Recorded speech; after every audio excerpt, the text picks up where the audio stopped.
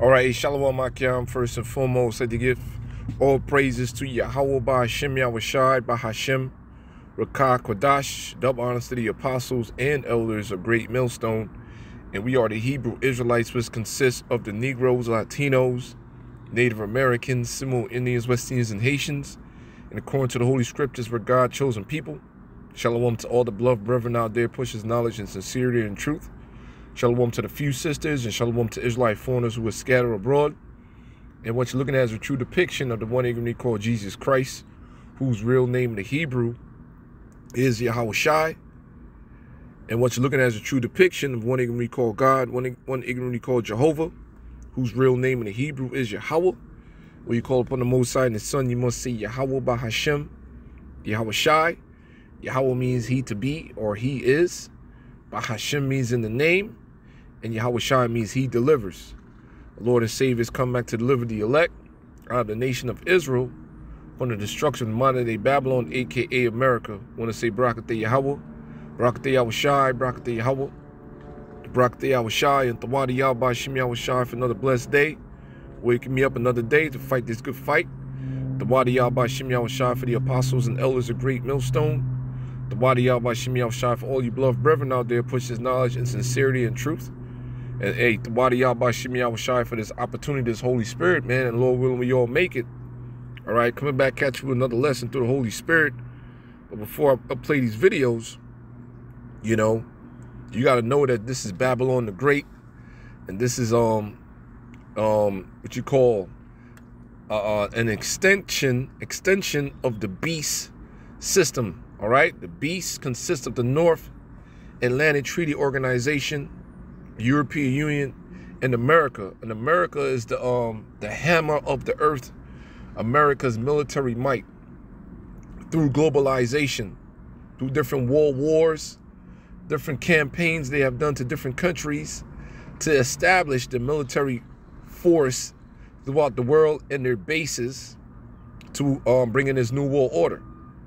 All right. In, in the midst of these things, um, all these things are recorded in the scriptures, all these things are, are, are been prophesied throughout the Holy Bible.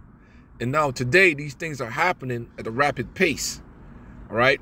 Ever since the Heavenly Father has set up this internet and he, he allowed the, the apostles and elders to put his information on the internet, man, things are moving extremely fast. And we are those men coming back, Lord willing, Lord willing, from the apostles and elders on down and everything is transpiring. You understand what I'm saying? So I'm gonna jump right into the scriptures. And Lord willing is an edifying lesson to the very elect. Jeremiah chapter 50, verse 22. A sound of battle is in the land and of great destruction. How is the hammer of the whole earth cut asunder and broken? How has Babylon become a desolation among the nations? So the modern day Babylon is, is America. And speaking from ex-military personnel, I thoroughly witnessed these things myself. So I'm going to these videos. And Lord willing is an edifying lesson unto the very elect. And remember, kids, the next time that somebody tells you the government wouldn't do that, oh, yes, they would.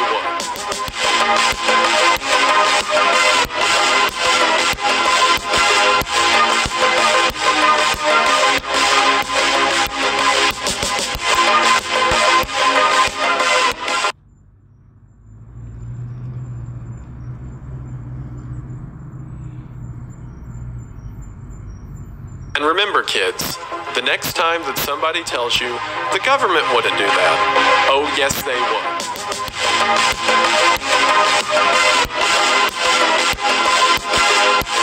So as you can see, the before and after effect of United States of America and the military might invading these different countries, man. Now does it make sense? Through the Army, through the Navy, through the Marines, and through the Special Forces, man. I'm going to show you another video. So everything we saying is according to biblical prophecy, man. All right?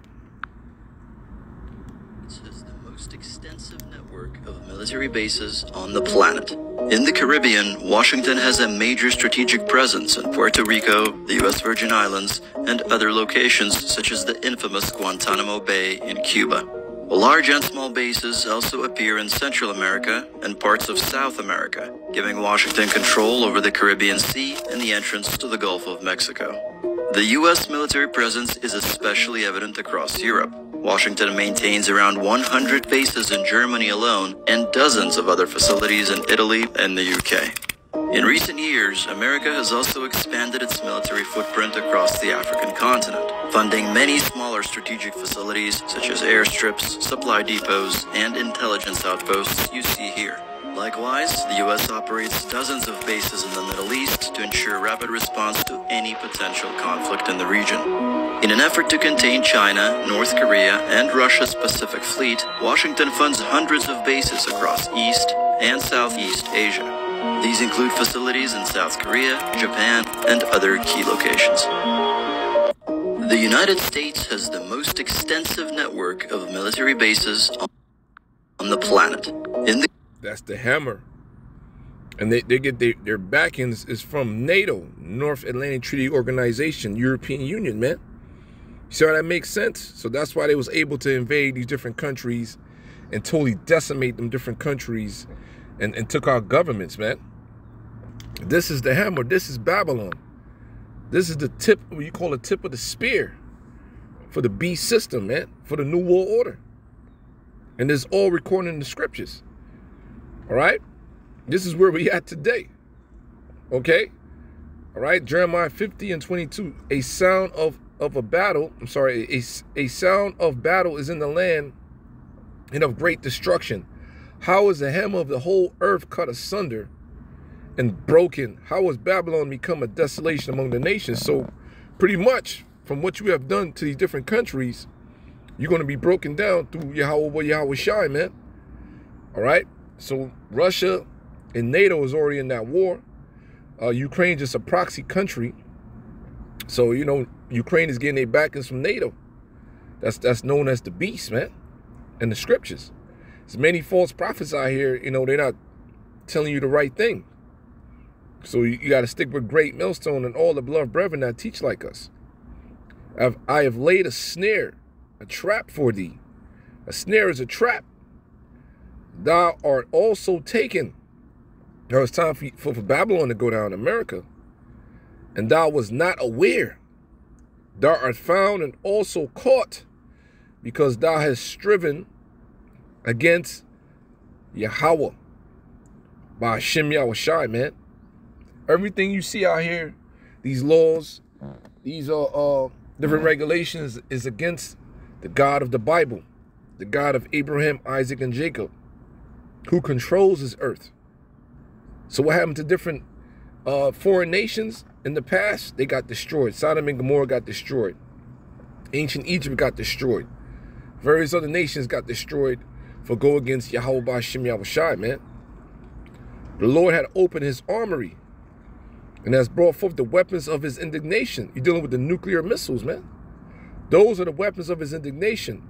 For this is the work of Yahweh Bashim Yahushai of hosts in the land of the Chaldeans. Those are the elite ones. All right? The Illuminati, so to speak. All right? So you can continue to read this that links up with the war that's getting ready to happen which is going to lead to a thermal nuclear destruction. So the Heavenly Father have them in the trick bad thing they're going to fulfill a new world order by, by World War Three and all them different things they got. I think they're going to plan, but they're going to get tricked because Yahweh Shai is going to show up. The angelic forces and the and the brothers are going to get hey, going to get activated, man. And it's going to be one hell of a fucking showdown. Right, it's going to be one hell of a showdown. So now we're going to go into uh, Revelation chapter 18. All right, not 18, um, 13, Slakia. Revelations 13. All right. And I stood upon the sand of the sea, and I saw a beast rise up out of the sea, having seven heads and ten horns. And upon his horns, ten crowns, and upon his heads, the name of blasphemy. That's NATO. right? The North Atlantic Treaty Organization. Okay, you go into the, the seven heads. Matter of fact, I'm gonna have to pull up that picture for you because I don't remember off the top of my head. Right. So you have to go pull it up for you. You could type in the beast in Google and type GMS behind it. The apostles and elders broke this down for us. So the seven heads, the seven governments or kingdoms ruled by Esau. Dealing with the Greeks, the British, the Germans, Minor, the Spanish, the French, the Romans, and um yeah, the Germans minor and major, man. Then you got the, the ten horns, which is um the North Atlantic Treaty Organization. You got them different countries right there. Everything all right? Yeah, yeah. I'm just using the phone. What makes up the, the beast system today in America sits upon that beast. You see what I'm saying? Uh, Revelation 17 and 1. Okay? Plain and simple. That's the seven heads and ten horns. And America is the forefront of the blasphemy of the wickedness that's pushed throughout the earth by the military might, the military forces, the CIA. You go across the world, just, invading people, blowing them up, passing wicked policies, setting up uh, puppet governments. Okay? So, it, so verse two it says, "And the beast which I, which I saw was like unto a leopard, dealing with the Greeks, Alexander. That's when Esau um, came into power during the Greek Empire, and his feet were as the feet of a bear. Now you're dealing with the Russians. Okay, the Russians are going to be in a big part. It's going Gog and Magog is going to be a major part in, of, the, of the destruction of this fucking empire with his third world war. And his mouth is at the mouth of a lion, dealing with Great Britain. And the dragon gave him his power and his seat and great authority. Okay, so that dragon goes back to what? Ancient Rome. The whole Romanized system back again today, like one beloved brother uh, broke down. All right, he started off as a serpent in the garden, became a dragon. Now he's a beast. But according to the scriptures, Yahweh Yahweh Shai is gonna is gonna mash this hammer down, man. I'm gonna type Bozrah. All right, he said, I've sworn by myself, Bozrah shall become a desolation. I love this scripture, man. Jeremiah 49 and, and 13. This is Yahweh speaking. So everything is being accomplished through the mouth of the prophets and Yahweh Shai coming back to mash this shit up, man. All right. Jeremiah 49 13. For I have sworn by myself. This is Yahweh speaking.